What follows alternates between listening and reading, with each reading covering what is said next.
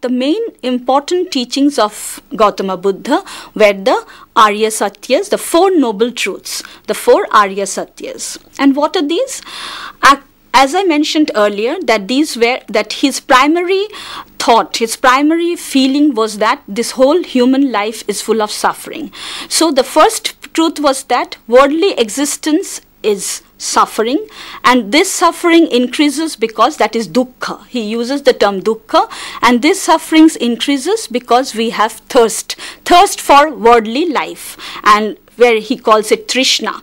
So we, when we have thirst, we have dukkha and this dukkha and we have thirst and this thirst has to be suppressed. So it has to be suppressed and that can be done by nirodha that is the destruction of the cause of sufferings. And this cessation of suffering can be had only when we attain nirvana that is the final enlightenment. He says that there is dukkha in the world and what is dukkha?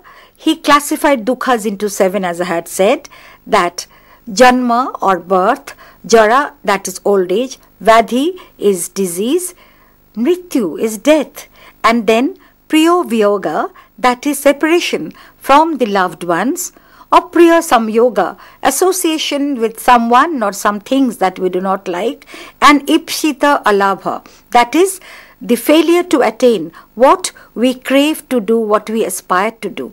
So, these are the seven dukkhas according to Buddha, and these dukkha causes all the sorrow. But he started, although he started very pessimistically, he proceeded optimistically saying that dukkha has a hetu, that is, dukkha has a cause. And what is the cause of the dukkha? The cause of the dukkha is tanha or trishna. Tanha or trishna. And what are the three trishnas that we have? The three trishnas are Bhava Trishna, desire for long life, Vibhava Trishna, desire for wealth, and Sukha Trishna, the everlasting desire for happiness. And Dukkha is therefore born out of this Tanha. But there is a way for the extinction of this tanha. Tanha can be annihilated. And then he prescribed the eightfold path, the Arya Ashtangika Marga, that is, the by following which one can be uh, free from all desires. So, it was not an extreme path, which we would rather later see the Jains prescribed. It was not a path of total abstinence, it was not a path of total indulgence, it was the middle path, Majjhima Pantha. The best part of Buddhism is that Buddhism uh, preaches us that we can, an ordinary man, can attain nirvana even if he does some kind of good work. For example, if you, we have inscriptions of later period where it is said that even if you dug a well, you'll find that you are doing some kind of merit. And this merit will finally lead you to your enlightenment, will finally give you nirvana. What is nirvana? Nirvana is the uh, end of all suffering.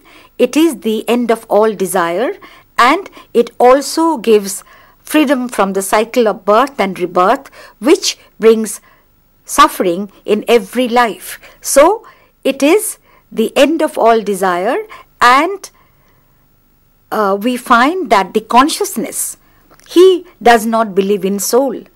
He does not believe in the Upanishadic concept of soul, although he believes in karma. He believes in transmigration. He believes in rebirth. But he says that it is the end of all karma, it is the end of all desire, it is the end of rebirth.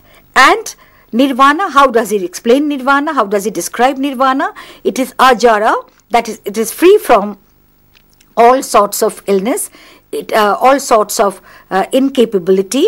It is abadhi, that is, it is free from all kinds of illnesses. And it is ashoka, it is free from all kinds of sadness.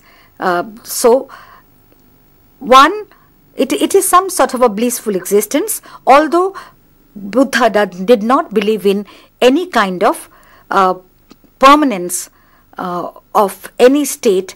So for him, it, there is no soul, it is consciousness, and he also does not believe in the permanence of the nirvana.